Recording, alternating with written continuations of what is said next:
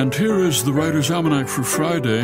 It's the 28th of June, 2019. It's on this date, 1928, Louis Armstrong and his band, The Hot Five, recorded West End Blues. He was 26. He was in Chicago. He'd been there for six years, moved there from New Orleans as part of King Oliver's band. They had parted ways three years before. West End Blues, recorded in Chicago's OKeh Studio, a legendary piece of music Earl Fatha Hines on piano, one of the first recorded examples of Louis Armstrong's scat singing. And it was a recording that took the jazz world by storm. When Armstrong sang the song live one night, the audience was so ecstatic it carried him off the stage. Gunther Schuller wrote that West End blues made it clear that jazz could never again revert to being entertainment or folk music. It served notice that jazz could compete with the highest order of musical expression. It summarized the past and predicted the future. It's the birthday of Mel Brooks, born in Brooklyn, 1926, served in the Army in World War II, deactivating mines after the Battle of the Bulge, went to work as a drummer and pianist in the Catskills, then went to work for his friend Sid Caesar, writing for his program Your Show of Shows in 1949. 1968, he wrote his first feature film, The Producers, went on to write Blazing Saddles, Young Frankenstein, and Spaceballs.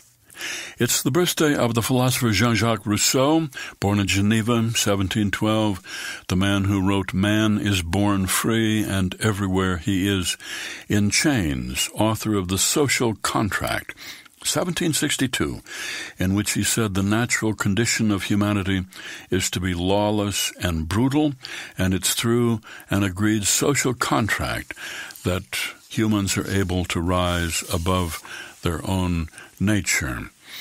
It's the birthday of John Wesley, 1703 in Lincolnshire, England. His father was a nonconformist, a dissenter from the Church of England. John Wesley became a founder of the Methodist movement, preaching to people out in the fields in the small towns, preaching that Christians could be made perfect in love by taking action to please God and to promote the welfare of the less fortunate. He was an ardent abolitionist.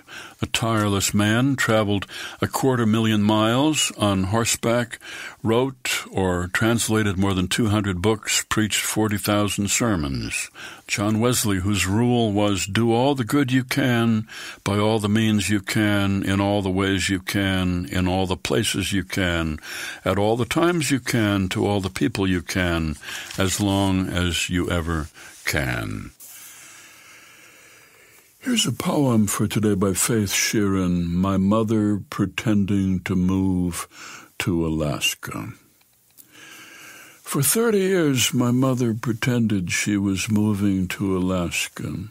She owned no maps of the state and did not try to visit. She lived on a hot island in North Carolina and could not drive in the snow, owned a thin winter coat, no boots or gloves.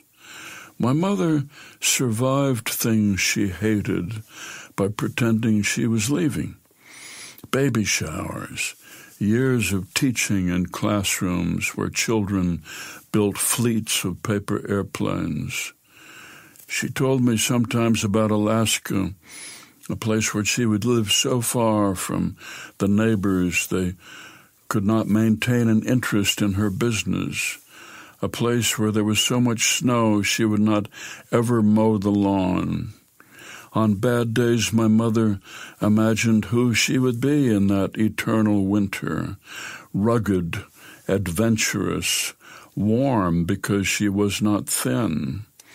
My mother was going to Alaska, and if she never got there, it was because her Alaska was not on any map and could not be reached by boat or bobsled.